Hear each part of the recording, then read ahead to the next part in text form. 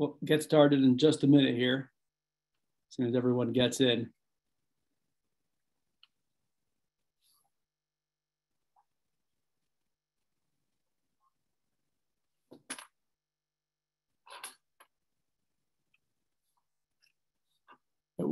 Well, welcome everyone. Welcome to uh, our end of March uh, leadership session here for Hasbara.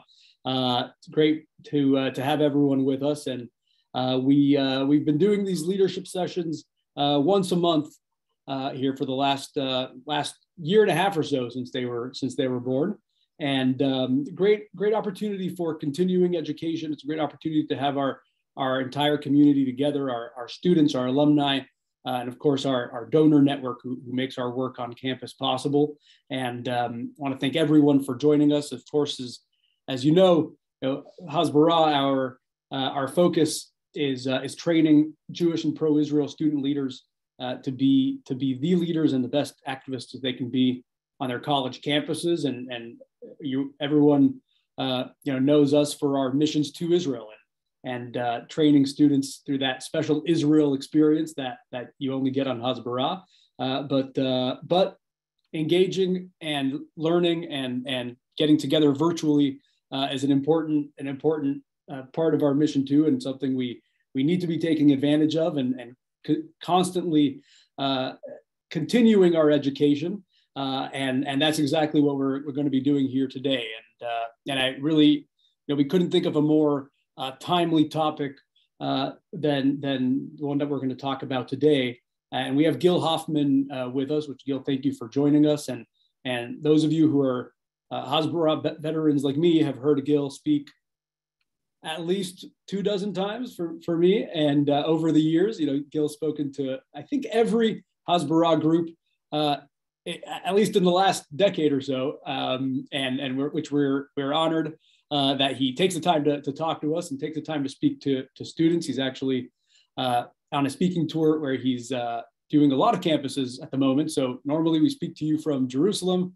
At the moment, you're in Kentucky, if I'm not mistaken. Um, Louisville right now. And you'll be in 10 states uh, here visiting campuses and communities. And so, Gil, thank you for, for, for joining us. And you know, normally you're a go-to on, on Israeli politics. You're, you're chief political correspondent for the Jerusalem Post. You meet us at the Knesset. You tell us what's going on there. Um, today, we're, we're going to ask you about a different topic, and, and the topic is, is Ukraine. Uh, you were just there on the border for about a week, if I'm not mistaken. You could correct me if I'm wrong. And, um, and it's an important topic, and, and we'll, be, we'll be getting into it here in a minute. But you know, of course, it's an important topic for the world. It's also a topic that uh, we've all, everyone on this call has has read about plenty.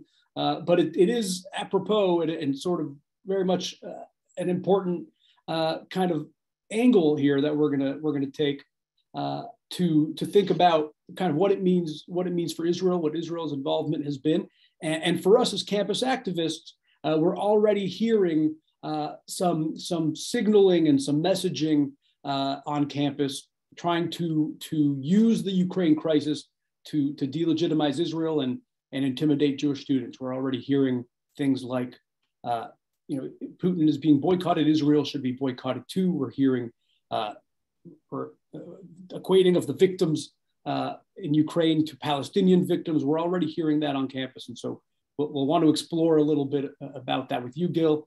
And, um, and so with that, Gil, welcome and, and welcome everyone for uh, that, that's joining us. Thanks. Pleasure being here. Th thank you, Gil. And, and I, I usually have questions uh, ready, you know, ready to go for these, these sessions. But um, in this case, uh, you know, you were just in Ukraine. Question number one is tell us everything. I mean, what was it? What was it like on you know there on the front lines, and what did you see? And um, what what should we know that we may have not seen in, in the headlines? Thank you so much, Ellie. I, I went on a personal journey. You know, I did not want to go there. I did not think I would go there. When I was offered to go there, I was going to say no. I mean, I have a pretty cushy job covering politics in the Knesset you know, I have my office in the Knesset, my seat that uh, with my name on it that overlooks the plenum, and my gym paid for by the taxpayers. And when I was offered to go, I, I just thought, I love my kids too much. I don't want to go to a war zone. It's not me. Um, hope I'm loud enough here. Um, and I decided, you know, I'll leave my comfort zone and I will uh, see what's going on. But I said I'm not going to go for Shabbat. That would be too hard. I've made it on the loudest if anyone still has a problem. Um, and I'm really glad that I did. I went through four countries to get to the border with Ukraine and Moldova. And I must have gone also through a time warp to a world that I never thought I'd see, to the world where my grandparents lived who were Holocaust survivors. I found out later that my own great grandparents were murdered by Ukrainians. My grandfather always told me that the Ukrainians were worse than the Nazis to him. And, and I got there to the border and I saw a steady stream of people crossing that line, uh, mostly women with little girls with little pink backpacks, um, who told me that they had been walking for hours in order to get there. They left behind their home, their husband, their father to fight in the war, not knowing if they'd ever see him again, if they'd ever get their home back, if they'd ever come back at all. Um, I was brought there by the International Fellowship of Christians and Jews, who uh, then showed us the efforts that they were making, uh, the places where they were housing refugees temporarily there in Moldova before they moved to Israel. And uh, it was there at their at the campsite that I met a woman named Alec, named Anna Galanskaya, who's 89 years old, who told me that when she was nine years old, she joined her father in a horse-drawn wagon, driving east as far as they could uh, to get away from the Nazis into the Russian Ural Mountains. that back then she never thought that she'd one day have to then flee in the other direction, running away from the Russians. And then Shabbat came and I didn't leave. And I saw what was going on in the synagogue right around the corner from my hotel.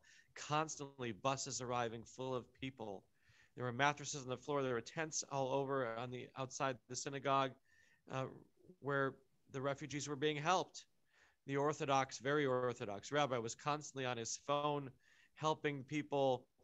He drove back on Friday night back to the border. He cooked for the people. He brought back on Shabbat. Pikuach Nefesh, saving lives, is what came first. And I saw it.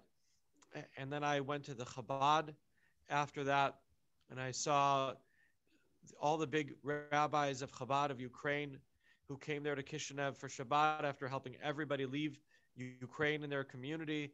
They locked the door, they took the Torah scrolls, and they came. And uh, then the, after the service, they danced. And I was really annoyed because it was freezing cold there at the Kiddush and what little food we were going to be given at all. And I asked them, why are you dancing? And I heard what they were singing. They were singing V'samachta Bechagecha, a song about being happy on a holiday. What holiday is it? And one of the rabbis told me it's like a kid who has a piece of candy that he desperately wants, and his father won't let him have it. So he makes a blessing on the candy. So his father would give it to him because you can't say God's name not in, uh, in vain. Uh, they were trying to push God uh, in order to make it a holiday, to make it to make there be joy after all they had been through. Uh, they had all, one after another, said the Hagomel blessing for being saved at the synagogue there. I got the last Aliyah there, uh, the last Aliyah in Exodus, and only realized later I, I myself had gone through an Exodus. Uh, I'm never going to complain anymore about it being too cold or, or being too hungry. Um, my life changed forever, so I'm really glad that, that I went. Uh, put it all into proportion, which covering politics with all the nitpicking they do, I, I think I needed that. Wow, that's um, that that's powerful. I um, I, I don't, you know, so much more I want to know here, and I'm sure the audience will have will have questions too. But um, I mean, give us, and we've we've seen accounts in in in the paper and you know different different newspapers from different places along the border. But I mean, how many people were were there at the synagogue? How how give us an idea of, of the of kind of how many people were around did you feel could you tell that there's sort of was, in that moment that there's the masses are coming your way? I mean, sure, it was just constantly packed. For you know, Friday it was constantly packed, and then there were different people there on Shabbat morning, uh, packing this little place, and and then we came back. Uh, on the way back from Chabad, there, where I went later, there, there were constant people coming. Um, uh, when we went there a different day, it was full of different people. Israel itself, if you want exact numbers, uh, there are already 20,000 Ukrainians that have entered Israel in, in the wars in the month since the war began. That's not counting Russians. Russians are coming too. It's easier for the Russians to come because the men are allowed to leave for now. Mm. Um, and so those 20,000 include 10,000 that came on the basis of the law of return, which you know mm. defines a Jew as one Jewish grandparent like Hitler. 80% of those people aren't Jewish.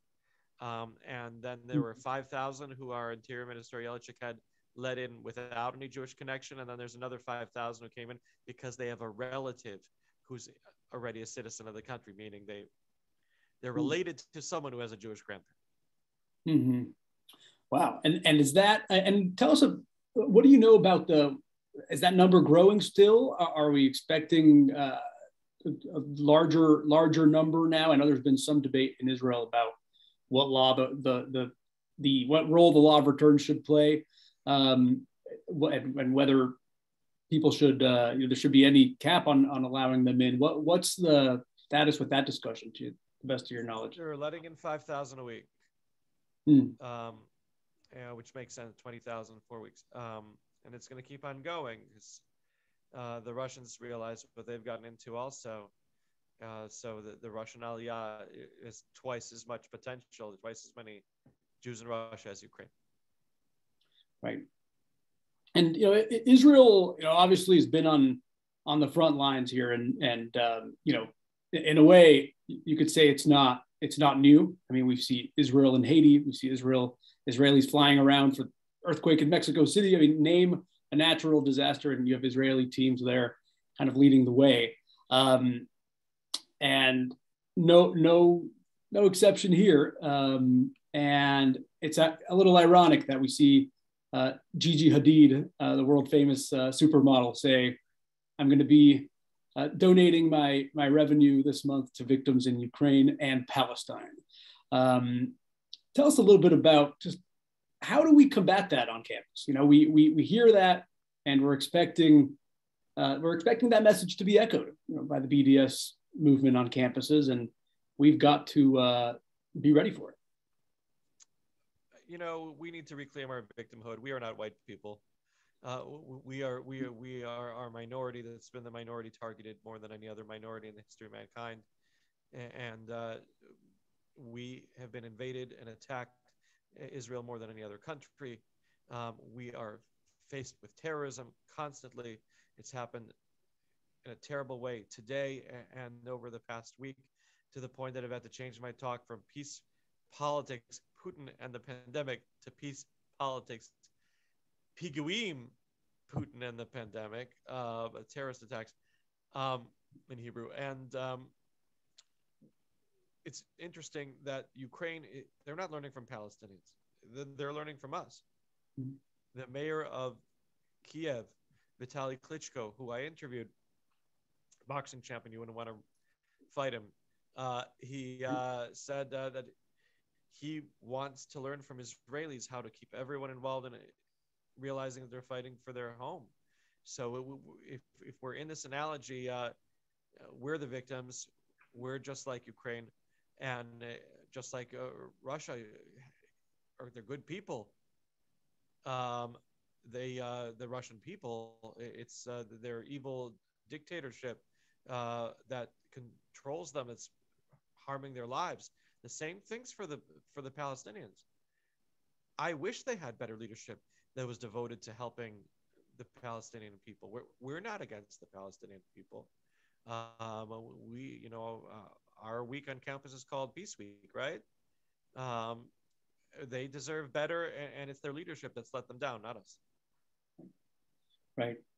Um, Right? You know, one thing we kind of, um, you know, kind of see see a lot in in the media and in, in discussions uh, in general on campuses today is, is this idea, idea of hijacking somebody else's narrative, you know, and um, I can't think of a more egregious example than trying to hijack the Ukrainians narrative now for the goals of, of the Students for Justice in Palestine and, and uh, other supporters of, of boycotting Israel. Um, which look, I, I, uh, when I was in Georgia on the Georgia Tech campus, they were having this meeting to prepare for their Israel Fest yesterday, and uh, I they had they said they want to have some kind of Ukraine connection. Everybody does. I understand. Um, uh, so they, I showed, I told them, you know, you've got all these reports of the Israeli humanitarian efforts there, uh, of the uh, field hospital and everything. Show those uh, on a loop uh, at the festival so people understand that, that we're the ones helping. Um, it's absolutely wrong for people to steal a narrative, but if we're dealing with Ukraine itself, then uh, we need to show that, as you said, just like Haiti, just like everywhere else around the world, we are the first ones on the ground helping save lives. I want to change uh, the subject a little bit here, just to, to more Israel's geopolitical kind of standing here and, and what Prime Minister Bennett has kind of uh, the way he's approached this situation with Ukraine and Russia. And, you know, certainly at the, the I mean, he made headlines by flying to, to, to Moscow and attempting to be the mediator and took a lot of criticism for it too, for, for not taking sides. Um, and uh, curious, what, what is, is that going to continue to be the, the approach here? It doesn't seem like there's, there's been a change. Um, and what lessons, of any, has Israel learned uh, from its initial reaction to, to the Russian invasion? So first of all, people are telling me that they can't hear me. Oh. Uh, I do have it on the loudest. I, I, didn't realize that I have a problem. Um, I am volume is totally fine for me. Maybe your computer volume is low. Sure, I hope. I mean, I'm I'm perfectly happy to uh, try to get on another device. I've got another two around here, but um, I'll keep on talking and hope that people hear me well. I, I hear you okay, and uh, and the recording will be available as well. If anyone is having trouble with your computer, we'll uh, we will send around the recording uh, after the talk as well. Um, I, I, see okay. a few people confirming here that we could hear you fine. So um, those who those so who there are two parts to Ellie's question then. The, the first uh, the, the second part of Ellie's question was about the lessons learned, and the first part was about uh, Bennett's strategy. And so the, the the two lessons that I've gotten for Israel out of this are number one, that we have to be independent and not rely on the world as much as we have uh, probably better relations with the world than we've ever had before right now. Um, we need to be reliant only on ourselves and on God. Uh, that is an obvious lesson. But the, the other lesson is that everything people have been saying over the years recently that being strong is actually a weakness nowadays in the days of social media and only the underdog and uh, getting support and everything. I don't know if it was ever true, but it's not true now. You need to be strong. Uh, being strong is not a liability. Uh, and uh, I'm glad that we're strong. Um, now, being strong has allowed us to feel comfortable being a mediator. Obviously, the Ukrainians are on the right side, and we don't want to go on the wrong side. But um, we've had to take into account our own national security interests with Syria being controlled by Russia on our border. And, and why are the Russians in charge there? Because in 2012, when Obama threatened uh, Syria that if they use chemical weapons against their people, then America is going to go in there, he broke his promise. And after he broke his promise, Russia saw that and they said, well, and we can get away with whatever we want. And they went in there. They invaded Syria and they're still there and they invaded Crimea then in 2014, and now they've invaded Ukraine. Um, so having them there has made the Russians trust us because we work with them. I mean, uh, getting permission to attack Iranian and targets there and whenever we need to. Uh, so that's built up trust with the Russians. We have trust with the Ukrainians, uh, and that's put in us in a unique position to be able to end this war. Um, and uh, we also have uh, a million Russians and Ukrainians in our country that also makes us feel very close. And another thing, uh, Ellie, it's really great being Switzerland for a change. We're so used to being one side of the conflict. Yeah. This has definitely built up Israel internationally as, as a respected world leader. Right. And, and Gil, maybe you can spend a minute telling us a little bit more about about the the delicate uh, coordination going on between Israel and Russia in in Syria. You know, it's not um, exactly uh, the the Hasbara talking point. It's not front and center at the moment, but I think it is important for for anyone who's a pro-Israel leader to to really understand in depth um, that uh, you know Israel To put it t- tell me if i'm not putting it quite correctly here but israel needs russia's cooperation for for security in in the north and um, you know anything to that could throw off that the balance there in that relationship could uh, could lead to to lives lost in, in northern israel. Is that correct? Correct. We have we have a deconfliction mechanism uh, where we inform the russians uh, whenever we need to hit an Iranian target in order to make sure that Russians' lives are not lost in that attack. That prevents war with Russia, and uh, that has helped uh, protect Israelis because we need to prevent Iran from expanding its influence in Syria and in Lebanon. Um, but we also uh, have worked closely with Ukraine. There are ex IDF officers who are training people in Ukraine. It's not an official thing, but it's happening. Interesting. Um, Gil, moving on, and I'm, I'm, this will kind of be my last my last topic here, and then we'll open it up. But um, you know, I I moving away from the politics a little bit and just um, sort of looking at this from a Jewish Jewish angle here. You know, I um, you told us about the Chabad rabbis helping people, and and and you know, we've read inspiring stories of people making it out of the war zone and to safety across the border and then and then to to kind of their ultimate uh, their, their their last destination being Israel and it's, um, stories are inspiring and I, I just want to read out the quote we heard uh, from Natan Sharansky a couple of weeks ago that uh, for anyone who hasn't heard it I think was pretty powerful and I'd love to get your reaction to it Gil but um, and I, I, have it pulled up here um, and if you'll bear with me I'll, I'll read it uh, and try to shorten it a little. But um, when I so he says, when I was growing, this is Nat, Natan Sharansky, uh, former uh, former chairman of the Jewish Agency, former uh, former uh, minister in several Israeli governments, and and one of really the most famous Jew to come out of the Soviet Union after after being a, a prisoner there. Um, and so he says, uh, when I was growing up in Ukraine, there were people from many nations and nationalities, and some had ID papers that said Russian, Ukrainian, Georgian, or Kazakh. Uh, and these were not too important since there was not much difference between them. He says the single designation that stood out was Jew.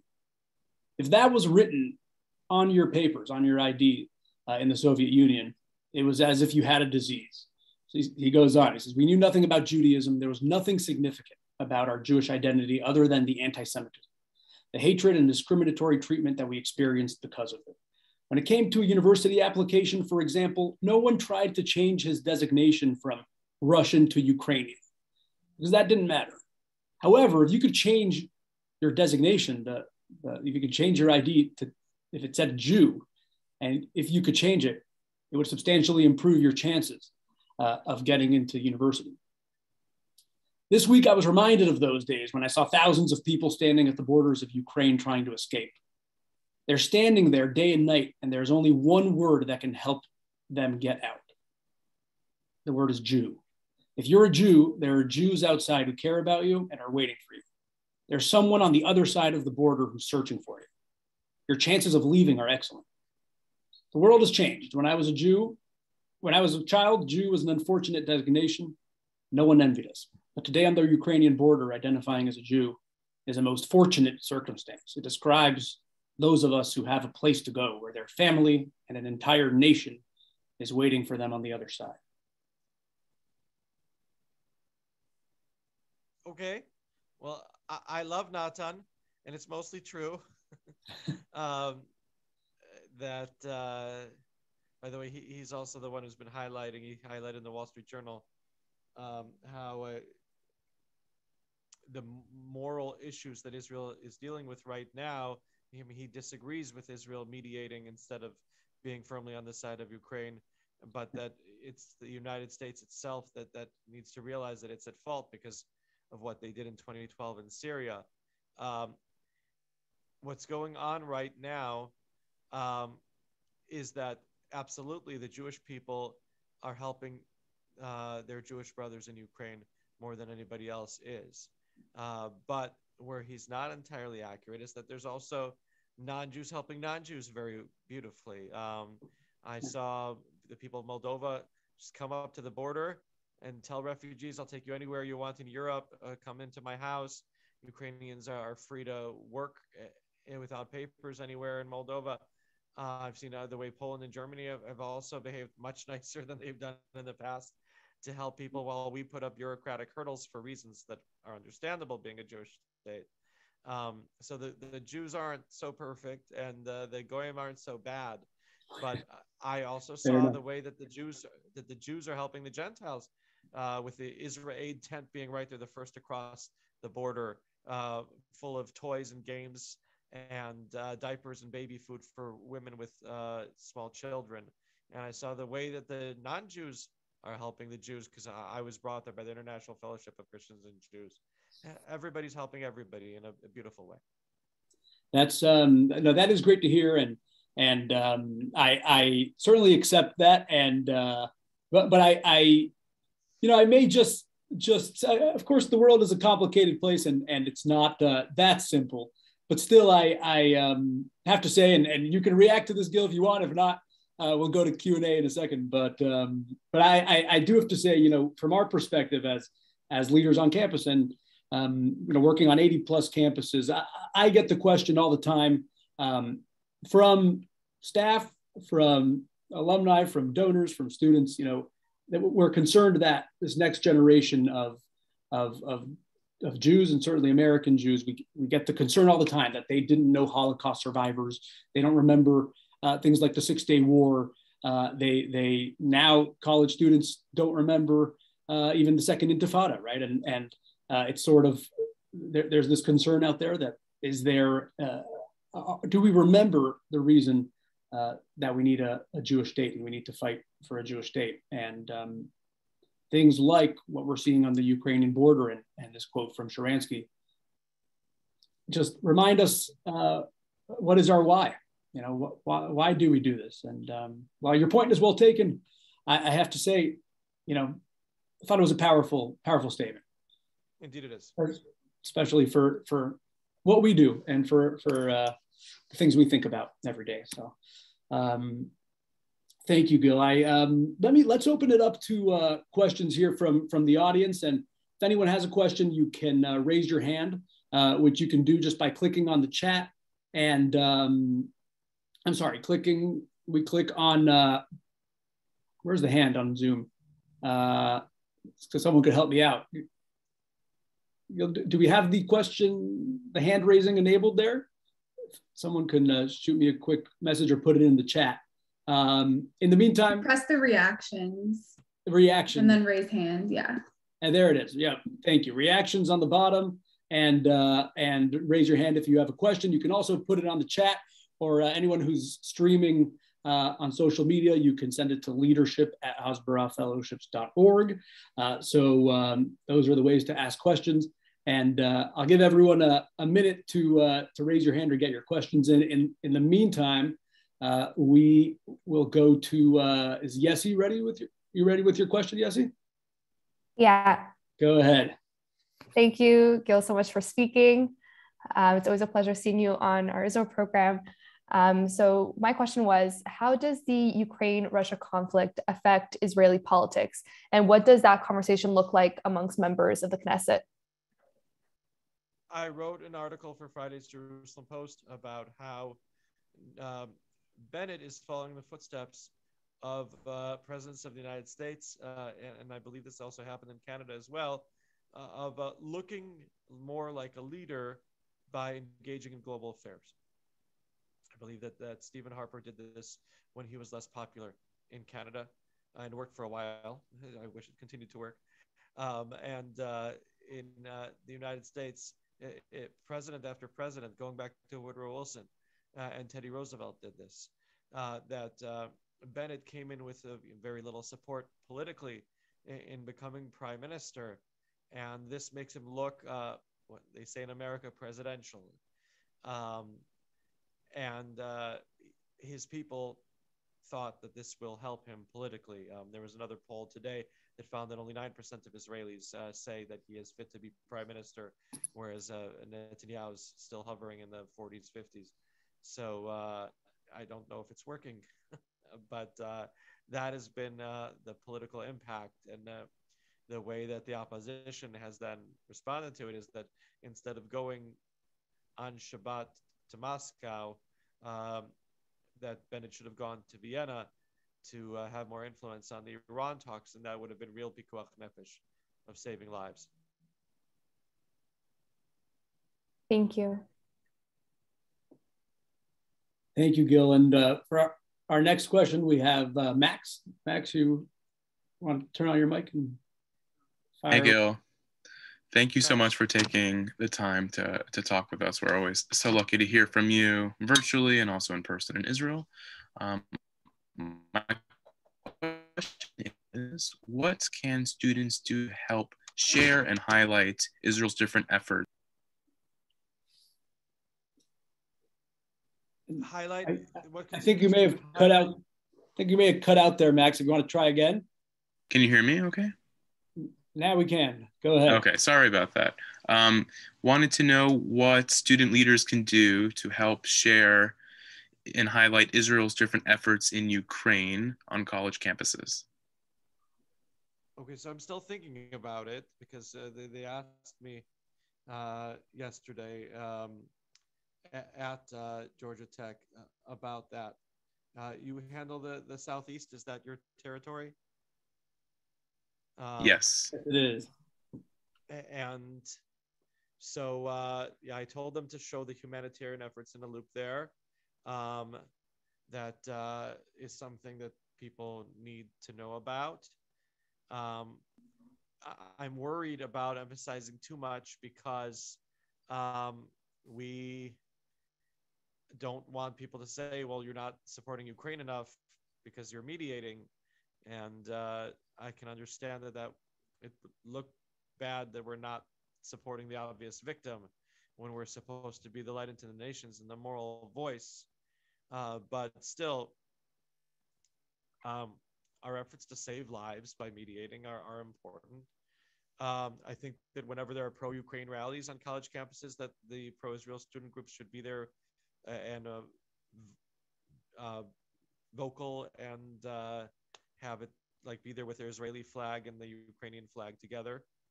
Um, just like the woman had who won the Jerusalem Marathon on Friday. Uh, she was a Ukrainian refugee, and there she is uh, in Jerusalem, where where she's uh, not planning on staying. She's there to uh, just for the course uh, of the war. Her husband is behind in Ukraine, and I, I think that putting out her statements there and her victory and everything, I think is also a very positive message. Um, those kinds of things. Thank you.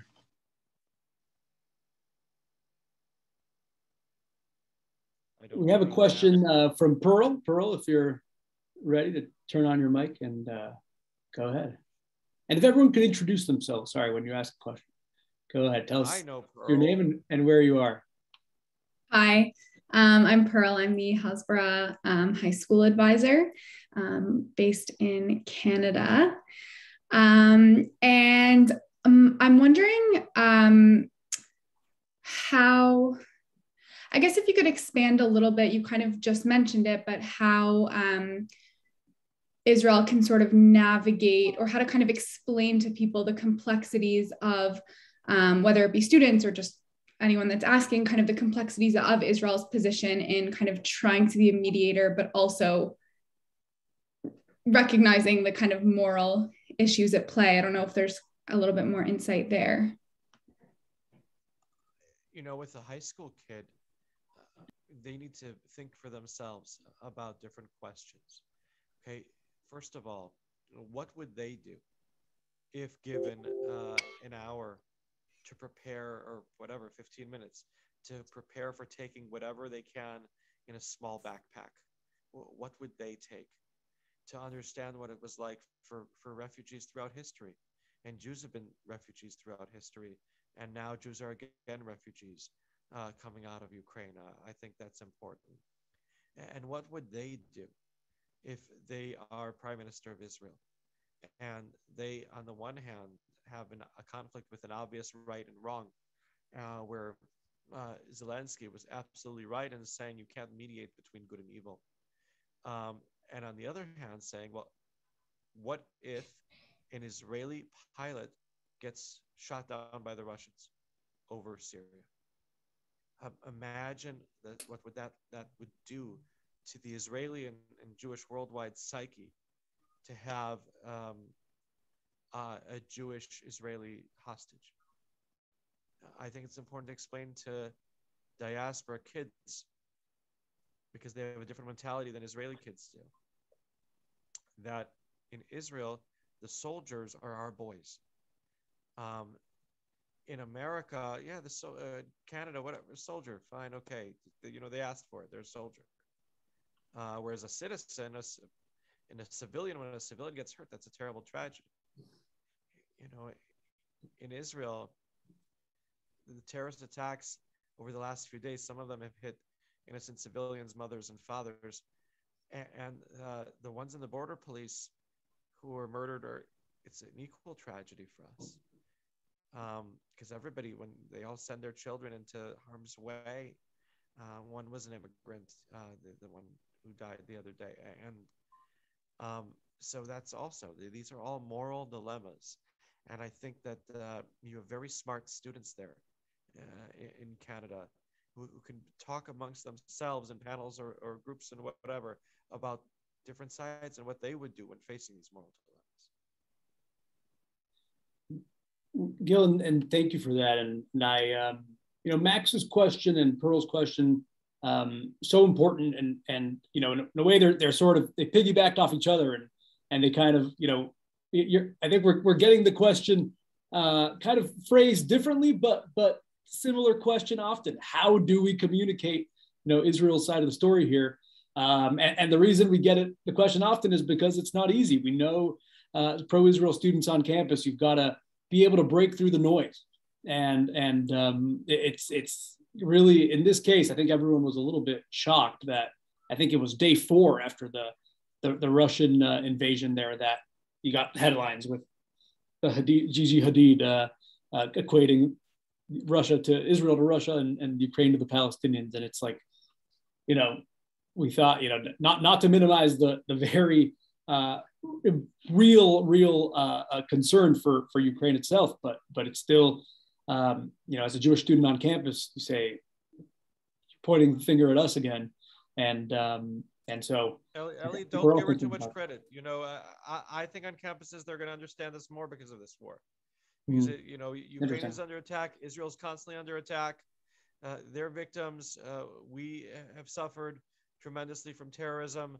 What happens to Israel is then employed to hit you to harm Ukrainians. It's it's uh, then employed in Colleyville and right by you, uh, the way it was in the synagogue in Poway. Mm-hmm. Uh, evil has to be defeated around the world, and the Palestinians and the Muslim world have too many dictators who support terrorism, and it can no longer be tolerated, not on campus and nowhere else. It's powerful answer. Powerful answer. Thank you, Gil. Um, oh, I um, we we have time for just uh, one or two more questions here, which um, I if uh, we have one, and, and uh, not seeing a hand raised at the moment. Um, Who I handles think, your West Coast, Ellie? I think I might. Here? Sorry. You have a West Coast person here? Uh, not at the moment. Not not not not here. Uh, although we do we have West Coast students? We might. Uh, I, am not. I don't have the gallery view on, but uh, but why do you ask, Gil? And then we're going to go to Pearl with a follow up question. I still have some free time next week on the West Coast. Uh, oh. You know, I just had a a talk added for tomorrow uh, when I'm in Maryland. Uh, I'm Israeli. I do things last minute. So uh, people can write me uh, gil at jpost.com if you happen to have a West Coast campus that can use an Israel slash Ukraine speaker next week. Amazing. And it's right here in my notes uh, for when we close. I was going to repeat that. Bring Gil to speak on your campus, but I will repeat it in a minute. Let me take it to Pearl with the last question here. Um, Pearl, go ahead. Thank you. Yeah, I have another question if that's okay. Um, when the war started, there was a lot of um, kind of like really positive press for the Ukrainian president. Um, and people being like really proud. He's a Jew. He's like so amazing. And then I think when he spoke to the Israeli, um, I think it was the Knesset, he sort of made certain um, Holocaust comparisons and things that people kind of got really upset about. And I'm just wondering how to kind of help again students or or other people or even for ourselves to sort of process. I think right now we live in a very like cancel culture kind of society where like we go from loving people to hating people in a second and how to sort of look at the nuances and and kind of see it as in the bigger picture. Um, obviously he's not ukraine like there's there's so many other people there but um, just how to kind of frame that or process that um, okay. yeah. Well uh, um, i think uh, someone once said love makes you do crazy things right?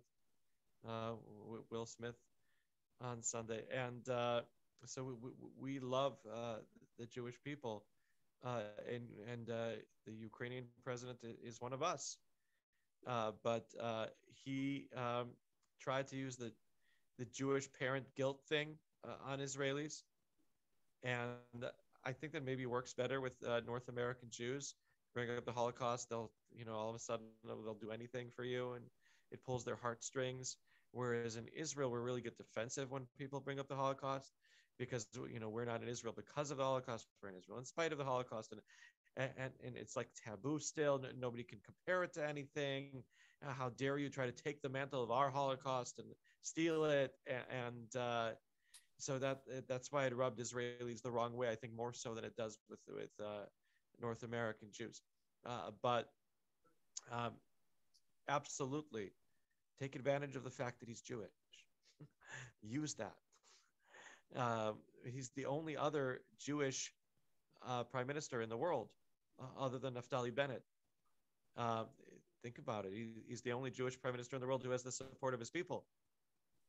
Um, and uh, so he's a Jew in distress. We help Jews in distress. He's our brother.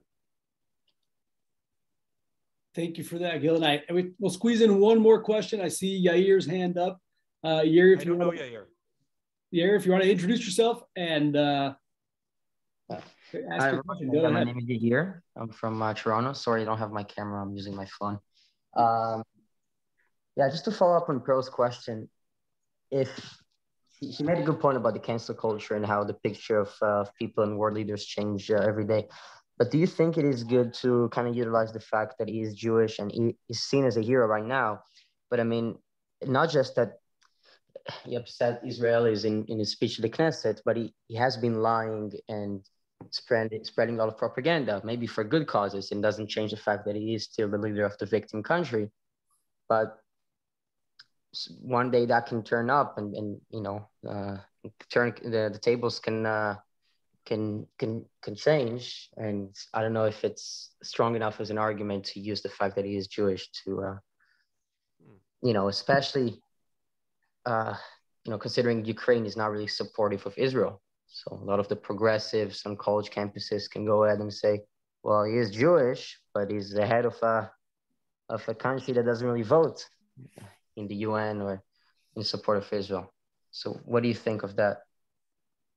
Yeah, yeah, I think you're smarter than the people you're talking to, or you're more informed, and uh, that uh, in the end we have to dumb down and oversimplify, um, Mhm.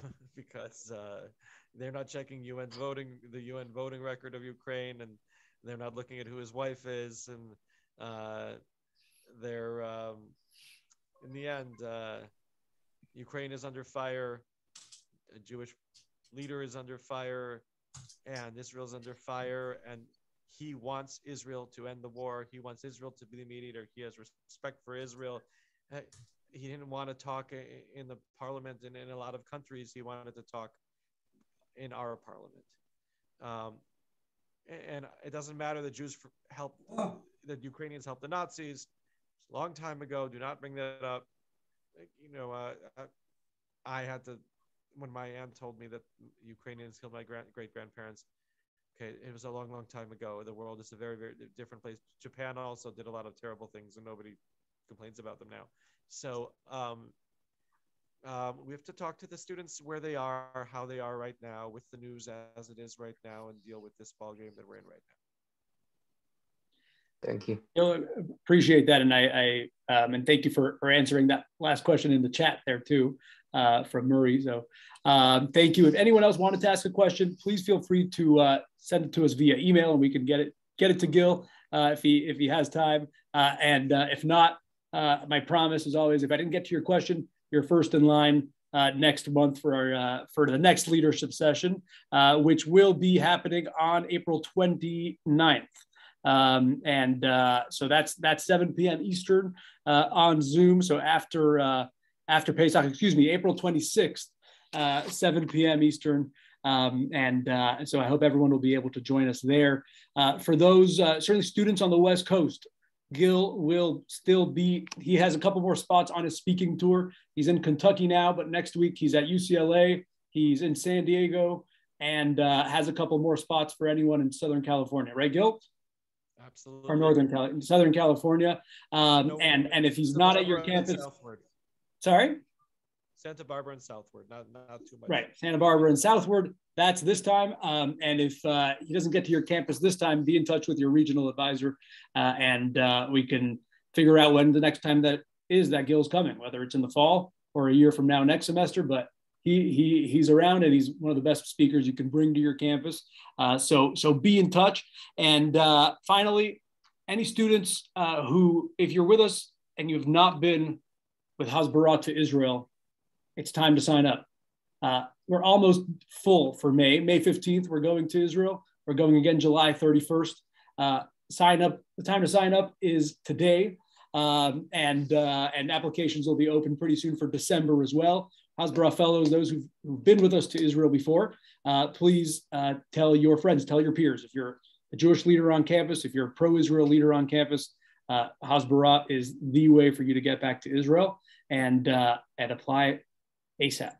Um, thank you, Gil. Thank you, everyone. I want to thank uh, our staff who's here. I want to thank students, and I want to thank uh, our supporters and donors who, who make our work possible. It's great to have you, and, and it's great time uh, these sessions for you to, to interact with the students. So thank you all for joining us. And uh, Gil, if you have any closing words, I'll let you uh, take us home. I just want to uh, say how much I love Hasbara Fellowships. You know, I, have been saying it to every campus that I'm speaking at uh, on this trip. Um, uh, how the students have to be coming on on Hasbara students tell me they've been on birthright and then they love israel and they want to come back. I said this is the way and i i send them to your website and i'm glad that you've got three trips coming up. And um, i've said that, that israel's fighting three battles for its existence. On the military battlefield we're at an advantage on the airwaves and social media. I think it's pretty even but on college campuses we're at a great disadvantage and you guys are there in the trenches and training soldiers uh, to be successful. And that's why what you do is so important for Israel's future. So uh, thank you. Thank you very much, Gil. Thank you for, for being a part of it. And thank you, everyone, uh, for being part of Hasbara's efforts on campus. Until uh, the next leadership session, leadership session, we'll see everyone there uh, in April. Until then, uh, be well, be in touch, and have a happy Pesach, everyone. Safe travels to you, Gil. Thank you. Thank you. Thanks so much.